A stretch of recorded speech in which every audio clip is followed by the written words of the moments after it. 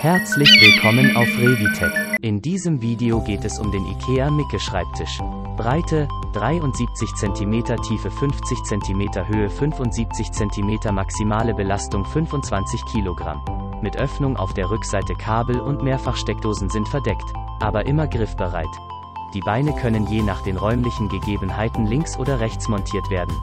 Ausziehsperre verhindert, dass die Schubladen ganz herausgezogen werden und herunterfallen kann frei im Raum stehen, da es auch auf der Rückseite behandelt ist. Für eine größere Arbeitsfläche lassen sich mehrere MICKE-Schreibtische und Schubladen kombinieren, alle haben die gleiche Höhe. Bitte die Anleitungen für das Aufladen elektronischer Ausrüstung im Benutzerhandbuch genau beachten.